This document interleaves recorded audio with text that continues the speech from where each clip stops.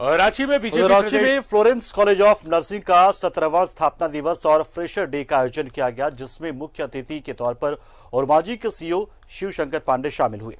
मौके पर कॉलेज प्रबंधन के लोग और छात्र छात्राओं की भी मौजूदगी रही।